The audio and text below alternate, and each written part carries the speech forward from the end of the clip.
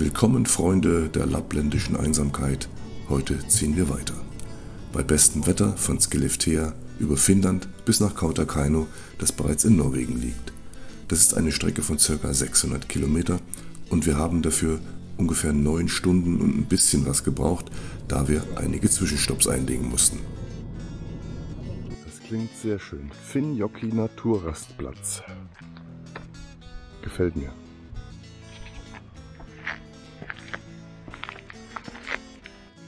Und auch auf dieser Strecke gab es wieder ordentlich Schotterpiste.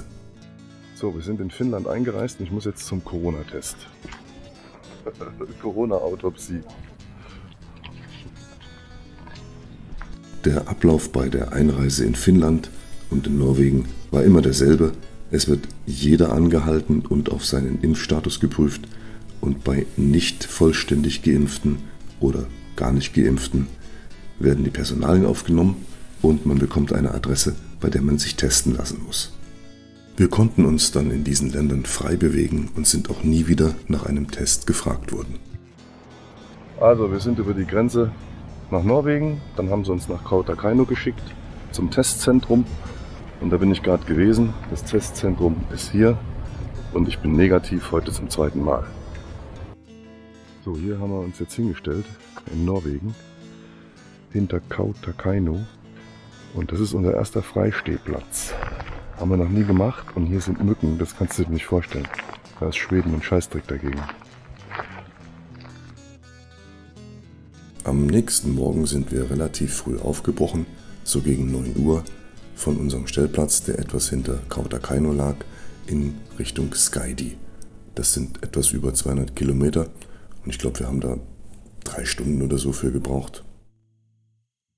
Und diese Straße hier, abwärts Richtung Altar, ist immer wieder spektakulär, besonders bei diesem Wetter. Auch wenn es vielleicht nicht ganz so rüberkommt, aber es ist in der Tat so. Und nach Altar sind wir diesem Hubschrauber begegnet, diesen Jungs auf den Motorrollern, die offensichtlich auch zum Nordkap wollen, und diesen Rentieren, die irgendwie scheinbar nie genau wissen, wo es hingeht. Wir haben wieder einen Campingplatz genommen. Ähm, ja, fast am Nordkap. Und äh, es sind sagenhafte 23 Grad. Das ist unfassbar. Das ist echt geiles Wetter. Hat man lange nicht mehr hier. Also, schauen wir mal, was der Tag noch bringt. Wir wollen nochmal angeln gehen, was einkaufen. Und unbedingt, wir brauchen unbedingt neues Bier. Dann sind wir angeln gefahren. Aber vorher haben wir noch einen kurzen Abstecher auf diese Brücke hier gemacht. Weil wir hatten noch nicht genügend Rentierbilder in diesem Jahr und mussten unsere Sammlung hier vervollständigen. Genug Rentiere gefilmt, jetzt geht's dann richtig los. Auf zu unserem Angelplatz.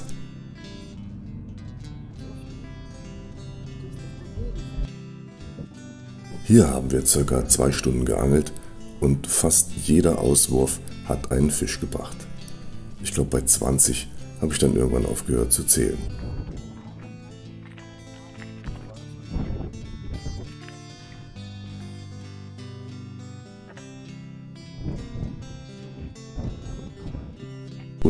Nein, das ist nicht immer derselbe Fisch, weil vorher das waren Köhler oder Seelachse und das hier ist ein Dorsch.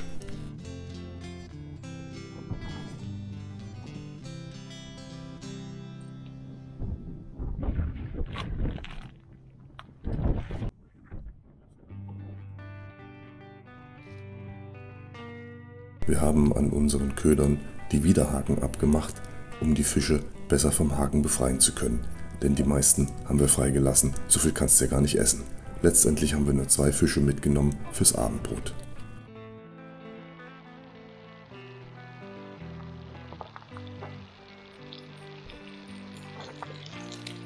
Das Wetter hat sich leider zugezogen. Soll wohl jetzt die letzten, die nächsten Tage soll es wohl etwas ähm, kühler werden hier.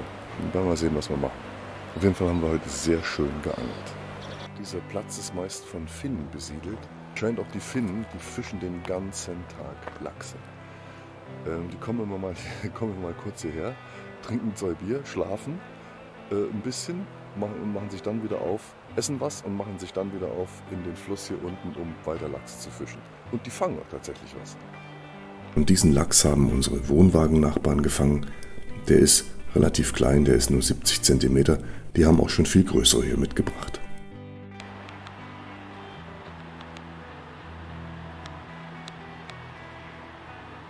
Da unten, das ist die Katze, die Hauskatze.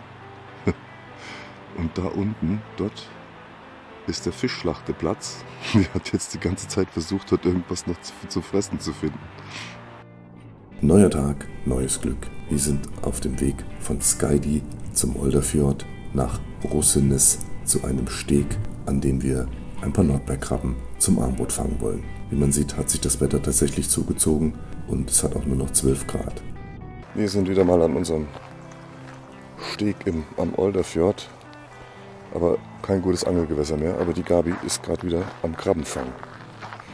Ich glaube, die Krabben, die fressen hier alles, den ganzen Laich von diesen Fischen alles weg. Ich hatte das in einem früheren Video schon mal erwähnt, dass diese Nordmeerkrabben eine Plage sind. Und das kommt nicht von mir, sondern das hat mir ein Fischer erzählt. Und ich habe hier ein Video von 2013 reingeschnitten. Und da war es noch so, dass wirklich jeder Wurf oder jeder zweite Wurf brachte einen Fisch. Und heute ist hier gar nichts mehr. 2013 war das letzte Jahr, in dem wir hier am Ende des Olderfjords Fische gefangen haben. Heute kannst du hier nur noch Nordmeerkrabben fangen. 2015 und 16 war es dann immer noch so, dass die Krabben erst gegen Abend so nah zum Ufer kamen und hier vom Steg aus gefangen werden konnten. Und heute kannst du zu jeder Tages- und Nachtzeit hierher kommen und du wirst immer irgendwelche Krabben finden.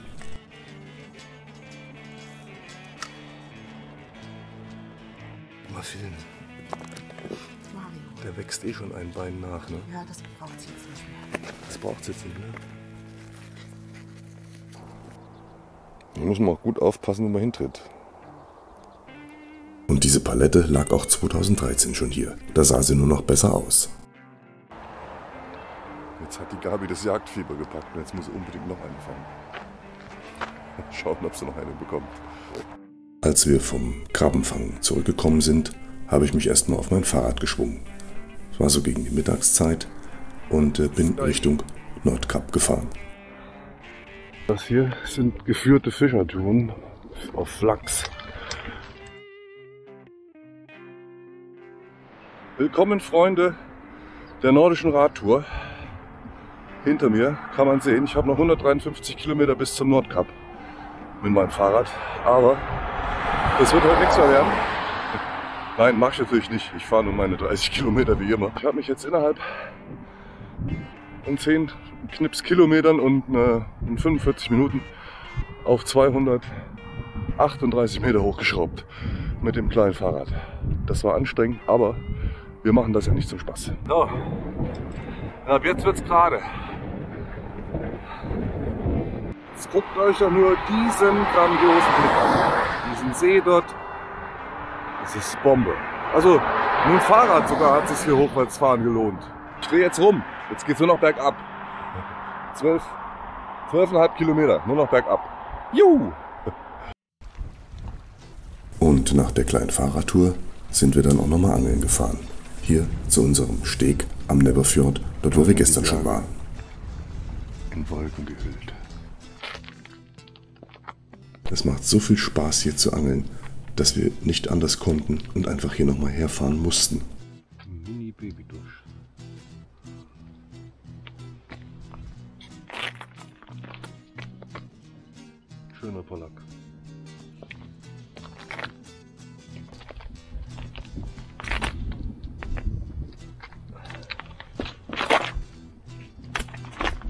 Schöne Größe hat er. Eine schöne Größe hat er ja auf jeden Fall. Kann man nicht meckern.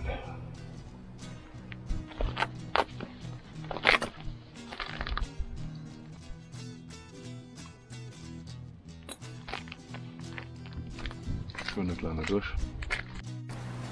Ein Schweinswal.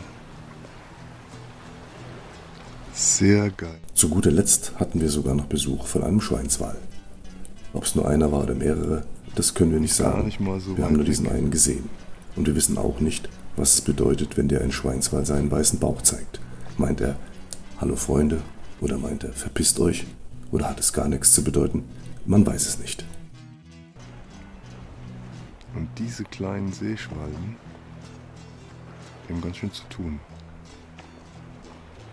Hier sind mega viele von so ganz kleinen Fischen. Die sieht man da. Und dann kommen die Seeschwalben und warten, dass einer hochkommt, den sie sich schnappen können. Das war's dann auch erstmal für dieses Mal. Und im nächsten Teil waren wir das vierte Mal am Nordkap und sind dieses Mal sogar für Umme auf das Parkplatzgelände gekommen, um diese Kugel zu sehen. Haben diesen Wasserfall direkt am Campingplatz gefunden. Sind auf der Suche nach dem weißen Wal in Hammerfest. Und will der Turan nicht mehr so, wie wir das wollen. Also bleibt anständig, lasst euch nicht ärgern und grüßt alle, die ihr barfuß trefft.